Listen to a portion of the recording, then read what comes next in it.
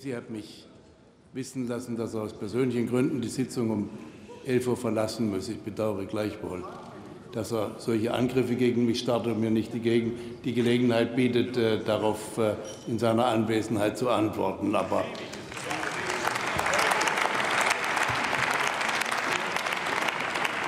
er hat, äh, er hat daran erinnert, dass seine Fraktion oder Partei 1998 gesagt habe, Euro so nicht, wird so sein, wenn er das gesagt hat. Ich kann mich erinnern, dass seine Vorgänger 1990 auch gesagt haben, deutsche Wiedervereinigung, deutsche Währungsunion, so nicht. Und da gibt es eine gewisse Kontinuität. Ich will daran erinnern. Das bringt mich, wenn ich vielleicht einen Moment bei all den Emotionen, die ich verstehe, zu, der, zu, dem, zu dem Thema, äh, zu der Abteilung kühler Kopf kommen kann, Frau Kollegin Göring-Eckardt. Ich glaube, die allermeisten in diesem Hause, in allen Fraktionen, vermutlich jedenfalls in der Regierung, ganz sicher alle, jeder Einzelne, jedes einzelne Mitglied der Koalitionsfraktion sind in der Frage, dass man Griechenland helfen muss, dass man Europa zusammenhalten muss, dass es um Mitmenschlichkeit und alles geht doch völlig einer Meinung. Da gibt es nicht den geringsten Unterschied.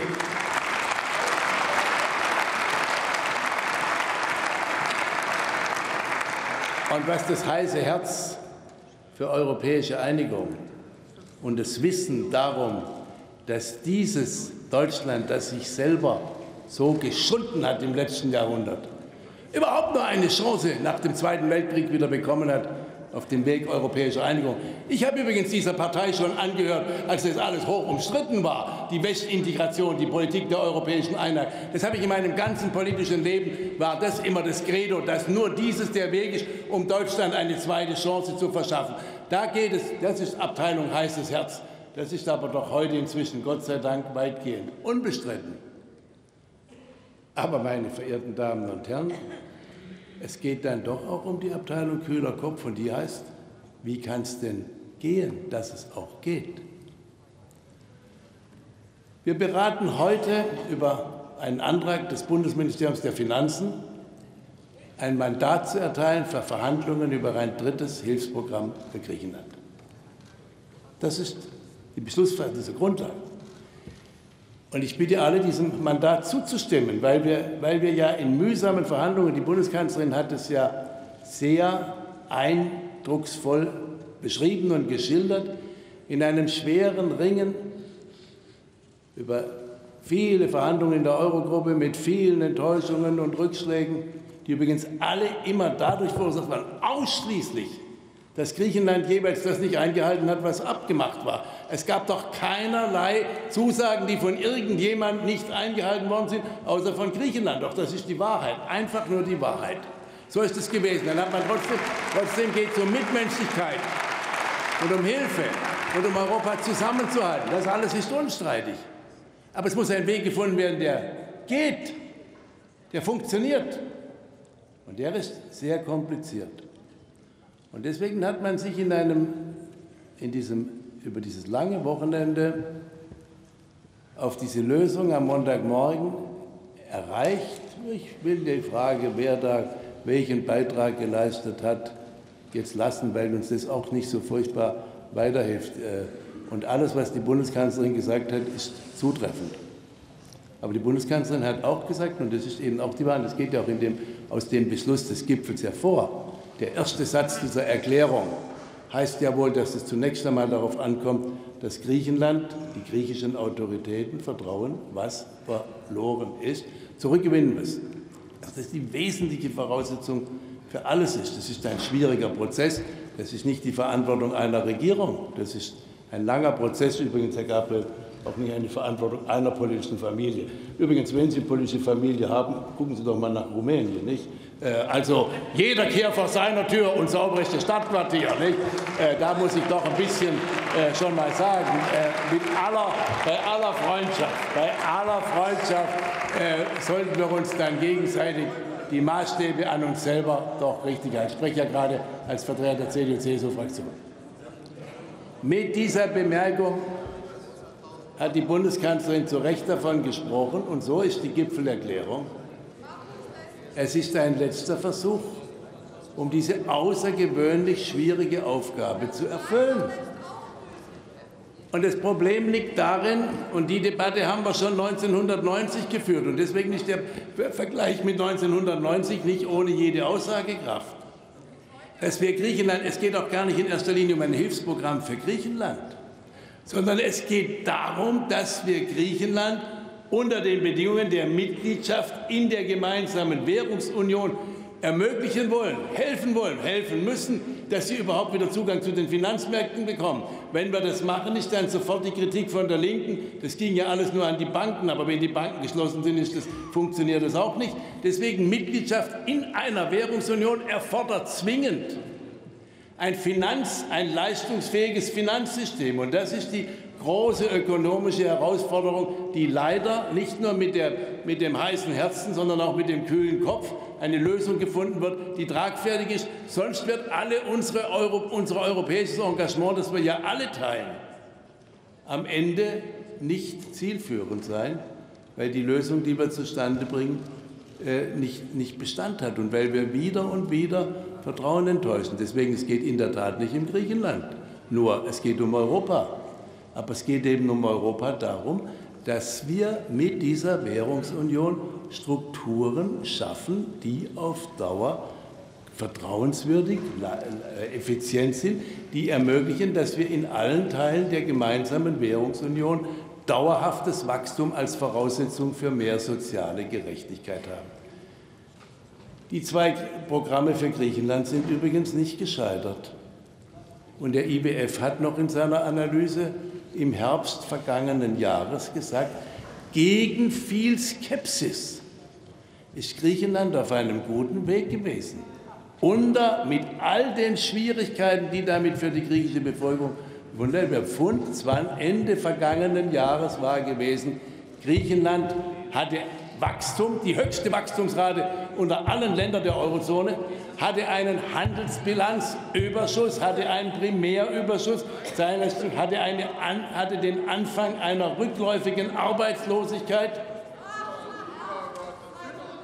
Alles IWF-Analysen und war im Übrigen auf einem Weg, dass nach Auslaufen, auf erfolgreichem Abschluss dieses Programms nur noch ein vorsorgliches Programm, so wie wir es auch bei Irland und Portugal nach Auslaufen der Hilfsprogramme benötigt hätten. Das ist innerhalb sechs Monaten verloren gegangen. Und deswegen sind wir jetzt in einer sehr viel schwierigeren Aufgabe. Wir, die Eurozone, alle Länder der Eurozone. Und dafür müssen wir eine Lösung finden. Wenn Sie einen Auftrag erteilen, worum ich, wofür ich werbe, dass wir die Verhandlungen führen. Ich werbe nur dafür, dass wir heute nicht meinen, jetzt ist das Thema gelödigt, jetzt haben wir, jetzt haben wir noch mal einen da zum, zum Bösewicht erklärt oder irgendwas sonst und jetzt wird es schon laufen. Nein! Aber nach Abschluss der Verhandlungen werden wir darüber diskutieren, ob, das, ob, die, ob, die, ob die Verhandlungen äh, einen Weg zeigen, der funktionieren kann. Und die Bundeskanzlerin hat davon gesprochen, das sind harte Auflagen aber nicht, weil wir Griechenland irgendwas Böses tun wollen. Wir würden uns alle überbieten in Hilfsprogrammen für Griechenland. Aber wenn es um die Frage geht, wie erreichen wir, dass Griechenland unter der Bedingung der Mitgliedschaft in der Europäischen Währungsunion, und das ist der Wunsch Griechenlands, den respektieren wir, wettbewerbsfähig werden kann, das ist die Notwendigkeit, dass es geht, dann geht es nicht, ohne dass Griechenland sehr grundlegende Reformen, und zwar jetzt, auf den Weg bringt. Auch dazu hat Herr Gabriel eindrucksvoll gesprochen. Dann muss es aber auch gemacht werden. Das war schon die Position vor fünf Jahren, 2010 und immer wieder. Bis jetzt hat man es ein Stück weit gemacht. In den letzten sechs Monaten ist alles, was auf den Weg gebracht worden ist, zurückgenommen worden. Und natürlich ist wahr, dass man in einer Währungsunion auf die Dauer Zugang zu den Finanzmärkten haben muss, sonst ist eine Währungsunion nicht zusammenzuhalten. Das nennt man Finanzstabilität oder Schuldentragfähigkeit. Die ist Voraussetzung. Und dann gibt es europäische Regeln. Der europäische Gipfel hat einstimmig erklärt, in seiner Erklärung, dass ein Schuldenschnitt nach dem europäischen Recht ausgeschlossen ist. Also ohne Schuldenschnitt die Voraussetzung zu schaffen, da muss Griechenland groß, da muss dieses Programm wird ein noch schwierigeres sein, als die beiden ersten Programme gewesen sind. Wenn Griechenland jetzt die Kraft aufbringt und die Entschlossenheit, es gibt einen breiten Konsensus im, über die Parteien hinweg im griechischen Parlament. Es ist eines der starken Argumente. Lasst uns einen weiteren Versuch wagen, gegen alle Erfahrungen. Aber der muss jetzt geleistet werden. Und der Versuch ist nicht jetzt erfolgreich abgeschlossen am Montagmorgen, sondern der beginnt jetzt. Und, liebe Kollegen, das ist die entscheidende Frage. Wenn wir das nicht erreichen, wir wollen es doch erreichen. Ja klar, wir wollen, wir setzen alles daran, dass wir es erreichen. Nur weil hier gesagt worden ist, das wird, es sei, wir, wir, Frau Göring-Eckardt hat gerade gesagt, was wir Griechenland alles zumuten und, und was alles in Griechenland gemacht werden muss, ein sozial gerechtes System und alles. Wir nehmen, Griechenland steht nicht unter Protektorat, die müssen ein Stück weit selber machen. Aber in erster Linie müssen Sie, Herr Kollege Schneider, es hilft nichts. Es hilft alles nichts. Die Realität ist so, dass wir einen Weg finden müssen, dass Griechenland über einen Zeitraum, den Sie definieren können, Zugang zu den Finanzmärkten finden muss. Und dazu muss jedes Mitgliedsland der Euro der gemeinsamen Europäischen Währungsunion. Das war bei Irland so, bei Portugal, bei Zypern. Seine, seine Finanz-, Wirtschaftspolitik und seine Institutionen so anpassen, dass man die Voraussetzungen erfüllt. Ich habe in der letzten Debatte, die wir geführt haben, daran erinnert, dass dieser Weg in unter völlig anderen Umständen 1990 bei der, bei der, Deutsch, bei der Einführung der Währungsunion, wir haben gerade am 1. Juli darüber debattiert, auch außergewöhnlich schwierig war. Er ist damals überhaupt nur möglich geworden. Der war übrigens, deswegen ist der Vergleich mit der Treuhandanstalt auch wieder falsch. Die Herausforderung 1990 war in einem Schritt die Menschen, in der, die bis dahin unter einer links totalitären System gelebt haben, mit der entsprechenden wirtschaftlichen Ineffizienz, die nun annähernd an das Lebens- und Sozialniveau der sozialen Marktwirtschaft nach 40 Jahren anzunehmen. Das hat nicht, nicht, nicht Entschuldigung, Frau Kollegin Göring-Eckardt, wenn Sie ein bisschen die wirklichen Zusammenhänge anschauen, dann ist der Punkt, dass die Treuhandanstalt am Ende gegen alle Erwartungen nicht große Gewinne bei der Privatisierung erbracht hat, sondern das Gegenteil. Nicht in dem, in dem Ansatz, dass eine leistungsfähige Wirtschaft nur dann äh, zu entsteht, eine wettbewerbsfähige, wenn man den zu breiten öffentlichen Sektor privatisiert, um stärkere Wettbewerbsdynamik in die Wirtschaft zu bringen, sondern der Grund, warum das entstanden ist, dass der Versuch, und das war notwendig, sonst wäre die deutsche Einheit nicht gelungen. Und deswegen ist es teuer geworden möglichst schnell wenigstens annähernd. Noch immer sind wir nicht, Arnold Faas, bei 100 Prozent. Lange nicht, das ist wahr. Das macht ja sogar jetzt die Bund-Länder-Finanzverhandlungen ab 2020 so kompliziert. Aber wir haben es schnell angenähert und daraus ist natürlich der, die hohe, die, der hohe finanzielle Aufwand entstanden. Deswegen ist der Vergleich mit der Treuhandanstalt insoweit überhaupt nicht äh, begründet. Nein, der Punkt, um den es geht, ist, wir müssten für den Finanzbedarf da ein, Schulden, ein, ein, ein, Schuldenschnitt, auch nach der Erklärung des Europäischen Gipfels mit europäischem Recht nicht vereinbar ist, einen Weg finden, der realistisch erscheint. Deswegen habe ich in der Tat in die Verhandlungen der Finanzminister den Vorschlag eingebracht, lasst uns doch versuchen, das ist nicht Privatisierung, sondern lasst uns doch versuchen, durch eine Neuorganisation der griechischen Wirtschaft über die Zeitachse hinweg ein finanzielles Volumen zu bringen, die, die, Finanz, die den Finanzbedarf in eine realisierbare Größenordnung zurückbringt.